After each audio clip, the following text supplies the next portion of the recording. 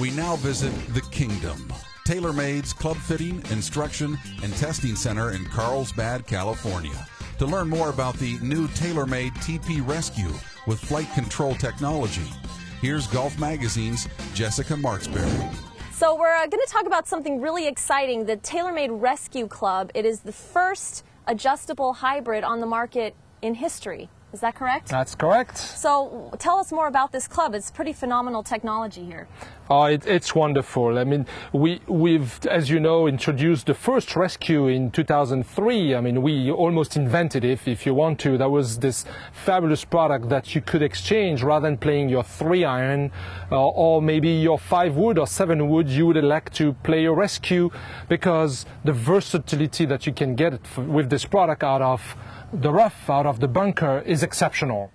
Now you can get it the way you want. If you want to go left, you adjust the shaft and the head, you put it on the left position.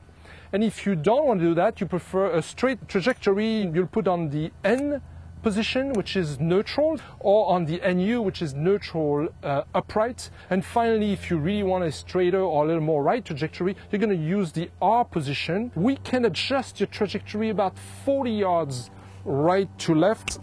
As soon as you hear the click, you're in position and you can play your, your rescue. Here it is, fully assembled the way you'd like to see the trajectory. Actually, it comes with eight position total. There are four position in between those four major ones that I just described to you. Now you have 40 yards of adjustment right to left. Enjoy, play the game. So, Benoit, we not only have flight control technology working here in the adjustable part of the club, but what else is going on in the club head? Yeah, you, you, it's correct, Jessica. We introduced other technology in this rescue.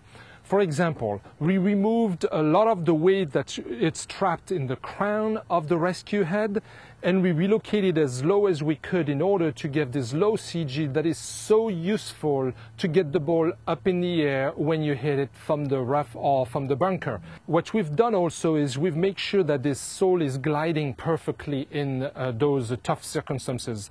And as you can see, we recessed the sole and removed some material here in order to leave a very small small area that is gliding.